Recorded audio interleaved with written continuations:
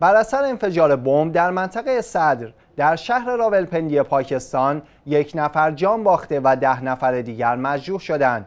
منابع آگاه گفتند که بمب در داخل یک دستگاه موتورسیکلت کار گذاشته شده بوده است.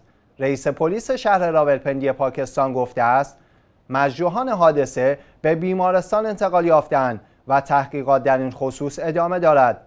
هنوز هیچ شخص یا گروهی مسئولیت این انفجار تروریستی را بر عهده نگرفته است. در چند روز اخیر نهادهای امنیتی پاکستان در عملیات متعددی در شهر راولپندی چند تن از سنی های تندروی وابسته به گروه های تروریستی مختلف را دستگیر کردند. نهادهای امنیتی پاکستان می‌گویند طی روزهای گذشته نیز چند عملیات تروریستی را پیش از وقوع خونسا کردند.